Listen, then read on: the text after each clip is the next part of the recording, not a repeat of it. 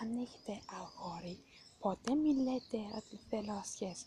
Θα πάτε, θα κλείσετε ραντεβού και θα το πείτε κατευθείαν εκεί, για σχέση. Και όταν θα πείτε για σχέση, αυτός με τη μία θα δεχτεί. Προσέξτε, καλά μου παιδιά.